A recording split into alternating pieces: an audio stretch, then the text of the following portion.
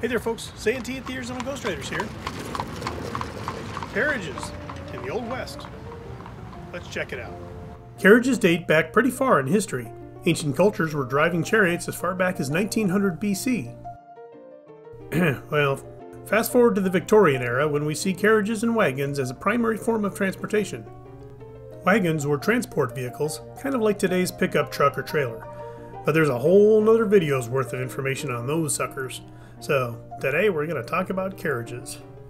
Coaches are in the category of carriages, having usually a fixed roof and four, um, walls. To make for a smoother ride, their suspensions were leather straps, unlike the buggy suspensions, which were typically steel springs.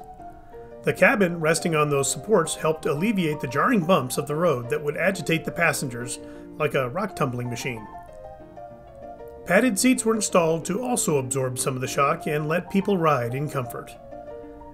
Regardless of these installations, long travel in a horse drawn vehicle over rough terrain was not very relaxing. I know it's not a stagecoach, you silly fool. Hand it over. Why does everybody have to be so difficult?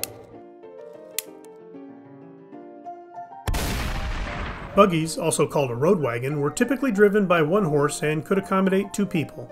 The shapes of these vehicles varied. You had the coal box, the piano box, and the square box buggies. Without a top, a buggy was usually called a runabout or a driving wagon, and if it had a standing top, it was called a Jenny Lind. A roadster or a trap had a retractable top, sort of the convertible of the day, if you will. Stanhope, landau, wagonette, hackney, coupe, gig are all varieties of carriages. These were very popular in Europe during the era, and some made their way over to the US.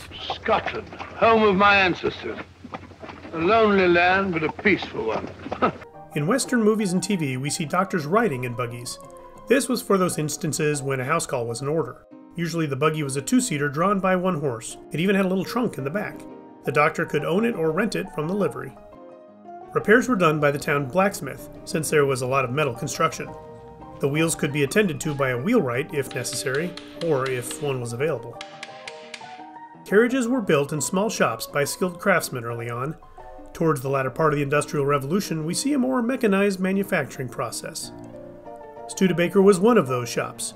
They built hundreds of wagons for the North during the Civil War, including Conestoga wagons for those making the Great Trek West. Ah, a bear in his natural habitat. A Studebaker. By 1875, the Studebaker Brothers Manufacturing Company was the largest producer of horse drawn vehicles in the world. Oh, there were others like Concord, Columbus, and Anchor Buggy Company, to name a few. The emergence of the first automobiles changed history, and slowly the focus of these companies turned to horseless carriages. Today, shops like Hansen's Wheel and Wagon and Engel's Coach are dedicated to restoring and building these beautiful vehicles. I'm happy we still see carriages in use today, and I hope we always will. Well, folks, that's it for another episode. Thanks for watching. And as always, please like, share, and subscribe. And we'll see you on down the trail.